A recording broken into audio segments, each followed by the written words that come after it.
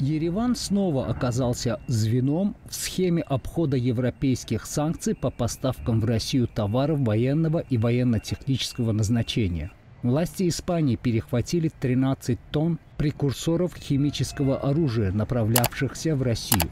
Конечный пункт назначения был замаскирован с помощью подставных компаний в Армении. Согласно заявлению испанской полиции, материалы были изъяты в грузовом контейнере в порту Барселоны – там же, в Барселоне и Жироне, были арестованы четыре человека, которых и подозревают в организации и руководстве коммерческой сетью для обхода санкций, введенных Западом против России. Компанией руководят граждане российского происхождения, которые разработали все коммерческие, логистические и экономические схемы незаконных поставок, а в качестве конечного пункта доставки столь опасной продукции указывалась Армения – при этом испанская полиция убеждена, что армянские компании не являлись непосредственными заказчиками, а должны были переправить товар в Россию.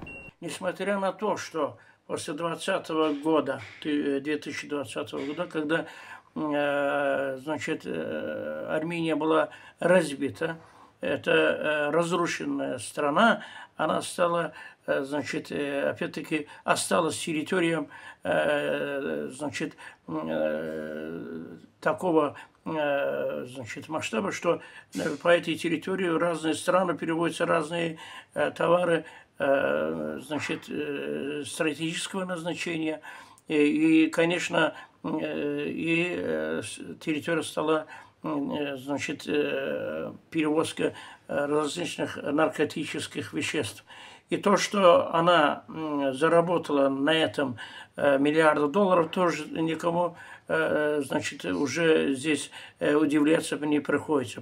Подозрительно резкий рост товарооборота между Арменией и Россией с начала войны в Украине наталкивает на единственно верную мысль о том, что эта Южно-Кавказская республика давно и успешно использует свою территорию и логистические возможности для обхода антироссийских санкций.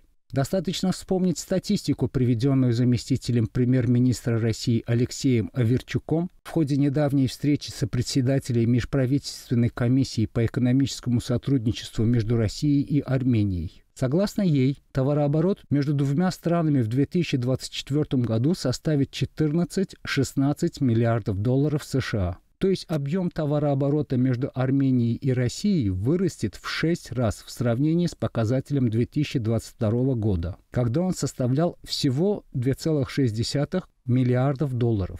При этом никаким ростом производственных мощностей в самой Армении эти цифры не подкреплены, что подтверждает версию о реэкспорте через армянскую территорию товаров, направляющихся в Россию.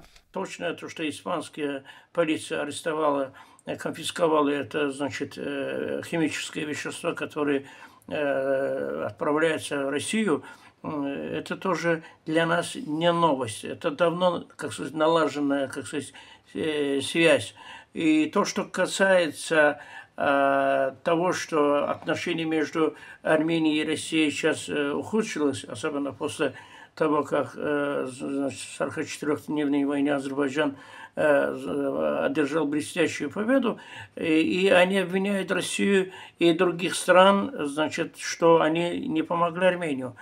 Международные санкции, призванные наказать Россию и подорвать ее военные действия в Украине, оказались вопреки ожиданиям неэффективными из-за инновационных методов по обходу ограничений, которые часто включают в себя передачу поставок и средств через компании и банки в центральноазиатских постсоветских государствах. Интересно, что Армению в качестве перевалочного пункта для подсанкционных товаров стали привычно воспринимать и некоторые европейские компании с удовольствием нарушающие требования Евросоюза.